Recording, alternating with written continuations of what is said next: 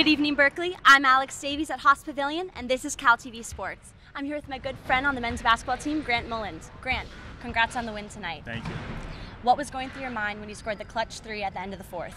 The ball just came to me and I let it fly. You know, not many were going in to, for us today, uh, just from the three-point line in general. But um, it was timely, so you took it and you made it. I loved it. Um, Grant, as a graduate student transitioning from Ivy League to the Pac-12, mm-hmm. how are you going to bring your knowledge and experience to Cal basketball? Bringing some some veteran leadership. Um, having played in a pretty good conference for three years has just given me that experience that I think I can bring over here. You know, Cal is really lucky to have you.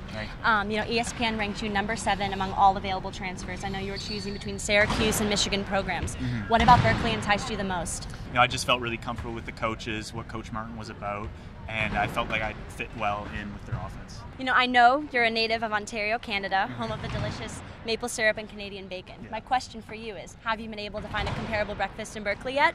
I haven't yet. Usually we just eat at Crossroads, uh, really? the dining hall, yeah. But um, there are a lot of good restaurants around, so hopefully I'll find one soon. Yeah, Berkeley's home to you now, so you yeah. got it. Yeah. All right, Bears. Well, this has been another episode of Cal TV Sports. I'm Alex Davies. Do I say my name? Yeah. And Grant Mullins. Go Bears. Can you say Go Bears? Go Bears.